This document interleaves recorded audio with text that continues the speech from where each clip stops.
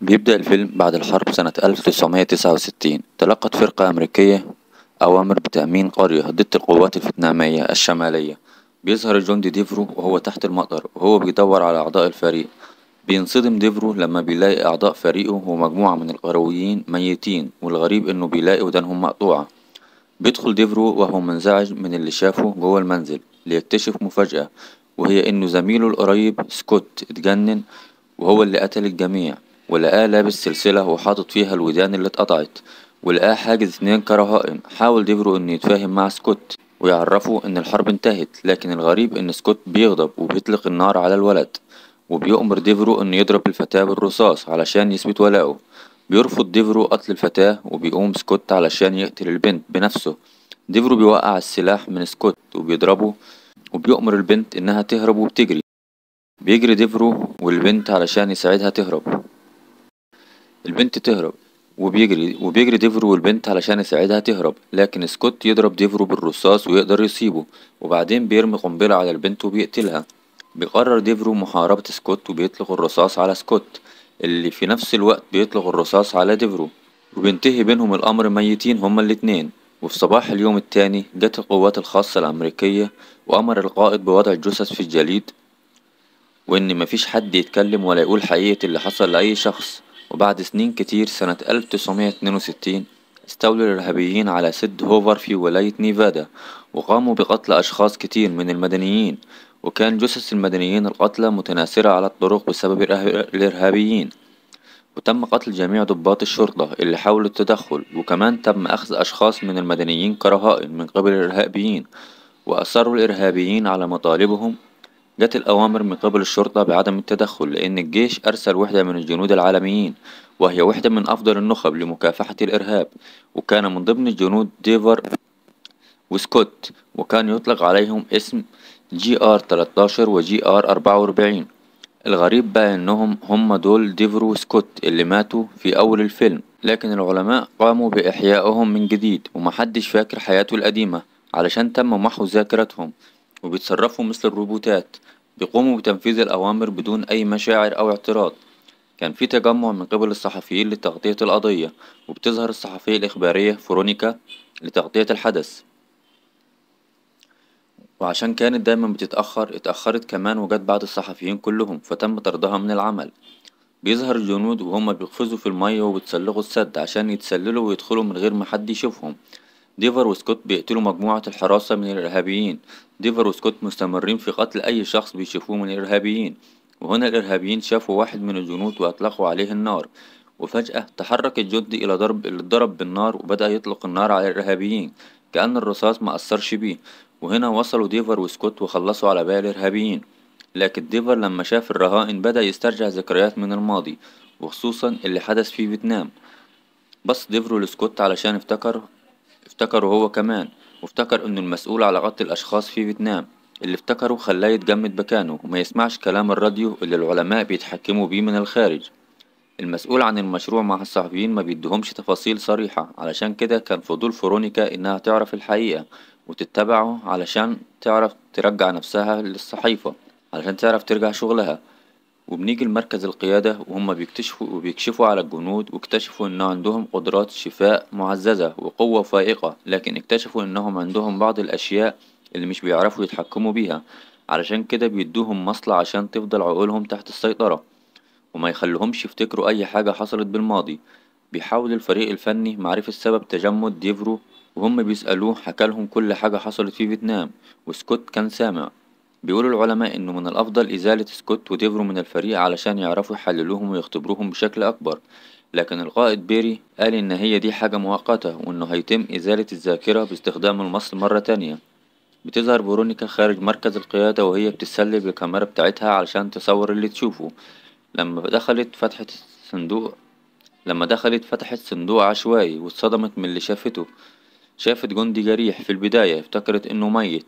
قعدت تلتقط صور وفجأة قام من مكانه وأصيبت فرونيكا من الصدمة وأطلق النار عليها عن طريق الخطأ. جريت فرونيكا وركبت العربية مع المصور والجنود بيجروا وراها علشان يقبضوا عليهم. وده تسبب في تحطيم العربية وخلاها تتقلب بيهم.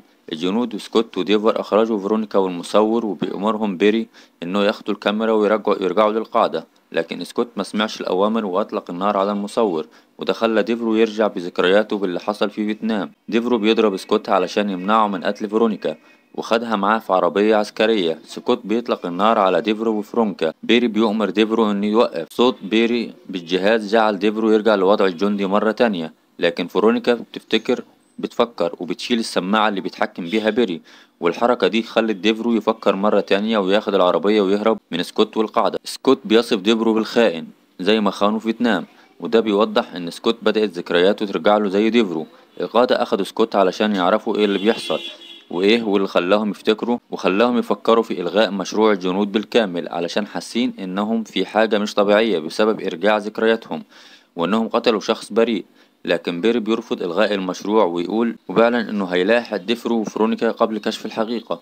فرونيكا بتلاحظ إن ديفرو مصاب برصاصة وإن ديفرو كوى الجرح بولاعة السجاير. البنزين بيخلص من العربية وده خلى ديفرو يزقها لحد أقرب بنزينة. ولسوء حظهم بيلاقوا مفيش وقود في المحطة وإن الهاتف العمومي بيكون معطل. وفرونيكا مش بتعرف تتصل بحد. فقرروا يقعدوا في غرفة بالمحطة وفي نفس الوقت بيصل الجنود للمنطقة وسكوت بيضرب خطوط الهاتف بالرصاص. فرونيكا بتشغل التلفزيون وبتصدم إنها متورطة في مقتل زميلها المصور. فتحاول تستخدم الهاتف بس بيكون لسه متعطل. ديفرو بيقلع هدومه وبيقف قدام التكييف. في اللحظة دي بتحاول فرونيكا الهرب لكن قبل ما تهرب لاحظت إن ديفرو تعبان. فبتشوفه لقت حرارته عالية. قررت تساعده ووضعته جوه بانيو وجابت تلج علشان جسمه يبرد. والتلج ده والتلج خلى ديفرو جسمه يتعافى. نزلت فرونيكا إلى مكتب الاستقبال علشان تسأل عن الهاتف ومخدتش بالها إن القوات في المكان. التلفزيون كان شغال وديفرو فهم من التلفزيون إن الحرب انتهت من فترة.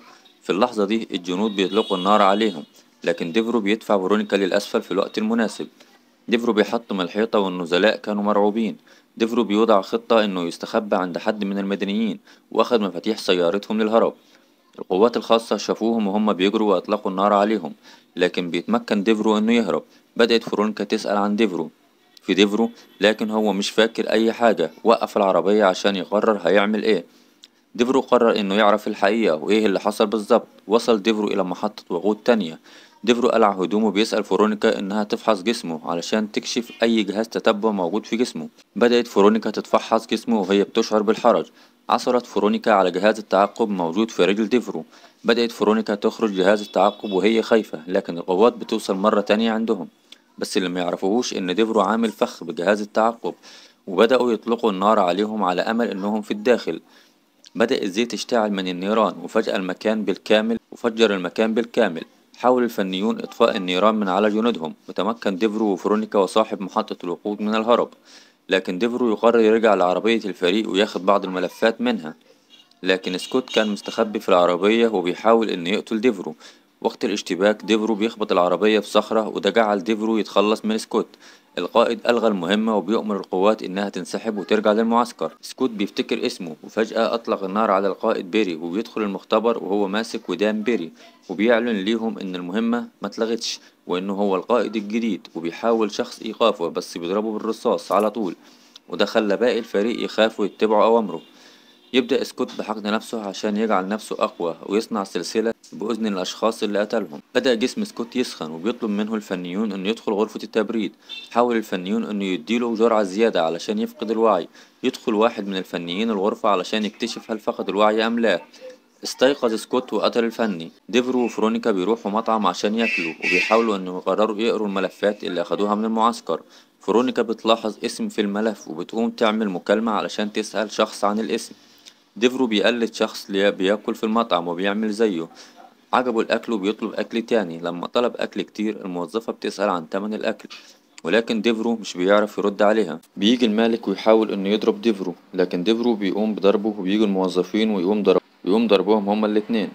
وبيرمي واحد منهم من الشباك. فرونيكا بتشوف اللي حصل وبتروح تطمن على ديفرو وبتلاقيه قاعد ياكل. بيظهر سكوت وهو بيسأل أحد الأشخاص عن فيرونيكا وديفرو. واحد من الأشخاص بيتريق عليه. سكوت بيقوم بضربهم كلهم. حاول أحد الفنيين إنه يفجر السيارة بسكوت لكن قدر ينقذ نفسه وينقذ الجنود. سكوت بياخد الجنود إلى سوبر ماركت ووضعهم في التلاجة علشان جسمهم يبرد لكن ده ما ينفعش والجنود بتموت. وبيحاول جندي تاني وبياخد اللحمة نية وبياكلها.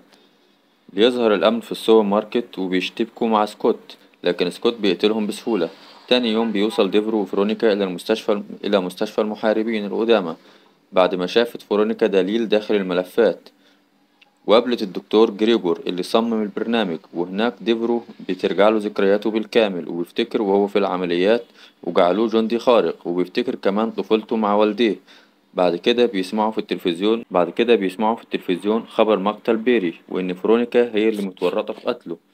وشافوا في الأخبار فيديو لسكوت وهو بيقتل المدنيين في السوبر ماركت واكتشفوا إن هو لسه عايش. بيقول لهم الدكتور اللي صمم البرنامج إن سكوت بيعتقد إن هو لسه في حرب فيتنام وإن كده بيقاتل المتمردين. ديفرو بيدي فرونيكا تذكرة علشان ترجع لبيت لبيتها في لوس أنجلوس. فرونيكا عملت نفسها ركبت العربية لكن هي نزلت منها قبل ما تتحرك. الشرطة بتحاصر المكان. ديفرو وفرونيكا وبيتم القبض عليهم. سكوت بيتابع سيارة الشرطة وبيطاردهم وبيتصدم بسيارة الشرطة ويطلق عليهم النار. قدر ديفرو ينقذ فرونيكا لكن الشرطيون والسائق ماتوا وده خلى السيارة بدون سائق وفقدت السيطرة. حاول ديفرو فتح الباب وألقى سكوت القنبلة على السيارة لكن فرونيكا رمتها برا السيارة وانفجرت بالخارج. سكوت بيرمي قنابل تانية لكن فرونيكا بتقدر ترميها برا السيارة. تمكن ديفرو إنه يقعد بدل السائق وبد... وبعد اشتباكات طويلة انقلبت العربية اللي فيها ديفرو وفرونيكا حاول سكوت إنه يقوم برمي السيارة من أعلى الجبل. لكن بيتمكن ديفرو إنه يطلع فوق السيارة ويقتل سائق السيارة. سقطت العربيتين من أعلى الجبل لكن بيكون ديفرو وفرونيكا قفزوا من السيارة قبل ما تتقلب. جت الشرطة وحاولت تقبض عليهم لكن تمكنوا من الهرب مرة تانية. بعد كده وصلوا لمنزل ديفرو بعد ما اكتشفوا العنوان من الملفات. وأخيرا بيلتقي ديفرو بوالديه مرة تانية. فرونيكا بتتواصل بالمحطة علشان تكشف الحقيقة وهي ماشية بتركب السيارة وبتكتشف إن المفاتيح مفقودة وبتلاقي سكوت واقف قدامها وبيتضح إنه لسه عايش. النور بيقطع في المكان وديفرو بيسمع صوت سكوت برا المنزل وبيهدده إنه لو مخرجش هيقتل عيلته بالكامل. ديفرو بيلاقي بندقية الصيد بتاعة والده وبياخدها وبيخرج لسكوت بعد ما بيلاقيه ماسك فرونيكا وبيهدده بيها. بيبدأ القتال بين سكوت وديفرو وبيبان إن سكوت أقوى منه بكتير وبيقدر يسدد ضربات لديفرو وبيسخر من ديفرو على ضعفه. بيحاول ديفرو إنه يقاوم بس مش بيقدر بسبب قوة سكوت. القتال بيستمر بينهم وسكوت متفوق على ديفرو. سكوت بيسحب ديفرو على الأرض علشان يشوف فرونيكا وهو بيقتلها لكن بيكتشف إن المسدس فاضي. بتحاول فرونيكا الهرب لكن سكوت بيرمي قنبلة عليها. بيفتكر ديفرو نفس المنظر اللي حصل في فيتنام وبيقوم بضرب سكوت بقوة. لكن سكوت لسه أقوى من ديفرو وسددله لكمة قوية. بيتمكن ديفرو من تسديد لكمات لسكوت. وبتقع حقنة من سكوت وبيقدر ديفرو إنه ياخدها ويحقن بيها نفسه. وبسبب الحقنة إدت لديفرو القوة إنه ينافس سكوت.